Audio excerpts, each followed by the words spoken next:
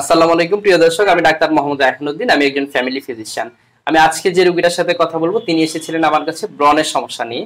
ওনার মুখে প্রচণ্ড পরিমাণে ব্রণ ছিল এবং হচ্ছে ব্রণগুলো অনেক বড় বড় ছিল এবং ব্রণ থেকে ব্রণ হওয়ার কারণে ওনার মুখটা অনেক বেশি রাফ হয়ে গিয়েছিল এবং হচ্ছে অনেক সময় পুজো করতো, ব্যথা করতো, চুলকাতো। আল্লাহ রহমতে খুব অল্প সময়, মাত্র দেড় মাসের চিকিৎসায় উনি টোটালি এখন আলহামদুলিল্লাহ সুস্থ আছেন এবং হচ্ছে ওনার ব্রণগুলো নেই বললেই চলে এবং ওনার মুখটা অনেকটাই স্মুথ হয়ে গিয়েছিল। গিয়েছে ওনার কেমন আছেন ওনার এবং কি সমস্যা ছিল সেটা ওনার মুখে শুনব। কেমন আছেন এখন? আসসালামু আলাইকুম। আমার মুখে অনেক বেশি ব্রণের প্রবলেম ছিল। আমি অনেক বছর যাবতীয় এই ব্রণের প্রবলেমে ভুগতেছি। আর কি অনেক ডাক্তার দেখানো হয়েছে।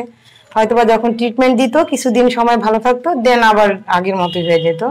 তো যাই হোক, দুই হাজার ছয় আট ব্যাজের ডক্টর রায়হান ওর অনেক ভিডিও আমি দেখলাম। আমার অনেক ভালো লাগছে গ্রুপে দেখলাম ভিডিওগুলো ফিডব্যাক অনেক ভালো পেয়েছি। দেন ওই উদ্দেশ্যে করে কেন জানি নিজের একটা কনফিডেন্স আসলো যে, না, এর কাছে গেলে হয়তো আমার স্কিনটা ইনশাল্লাহ ইমপ্রুভ হবে। হ্যাঁ তাই আমার এখানে আসা। আমি প্রায় দেড় মাস আগে এখানে এসেছিলাম। দেন ওর কিছু ট্রিটমেন্ট আমার ওষুধ দেন কিছু ক্রিম ইউজ করলাম। আমি যখন নর্মালি সপ্তাহখানেক ইউজ করলাম, দেখতে পেলাম যে, না, অনেকটা ইমপ্রুভ হচ্ছে।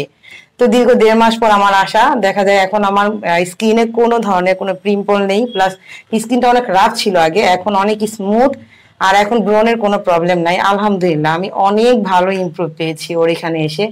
আমার অনেক ভালো লেগেছে ওর ট্রিটমেন্টটা আসলেই অনেক উপকৃত হয়েছি আমি এখানে অসংখ্য ধন্যবাদ।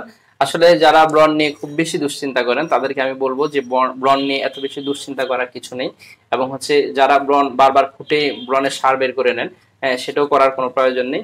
যদি বেশি সমস্যা মনে করেন, তাহলে অবশ্যই আপনি নিকটস্থ ডাক্তারের পরামর্শ নেবেন।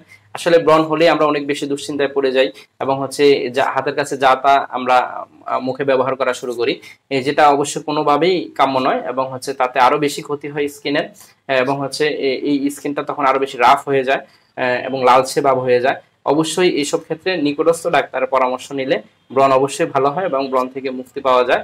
অবশ্যই যাদের বেশি ব্রণ, তারা রাত জাগবেন না এবং হচ্ছে আপনারা যারা বেশি ব্রণের দুশ্চিন্তা করতেছেন ব্রণ নিয়ে ব্রণ নিয়ে দুশ্চিন্তা করা যাবে না এবং বেশি পরিমাণে শাকসবজি খাবেন এবং মুখটা পরিষ্কার রাখবেন। তেল তেলে যে ভাবটা থাকে সেটা যাতে না হয়। বাইরে থেকে আসার পরেই আপনারা অবশ্যই মুখটা ফেস ওয়াশ বা হচ্ছে যেটা দিয়ে আপনারা ব্যবহার করেন, সেটা দিয়ে আপনার মুখটা ধুয়ে নেবেন। তাহলে অবশ্যই ব্রণ কম হবে। অসংখ্য ধন্যবাদ সকলকে। আসসালামু আলাইকুম।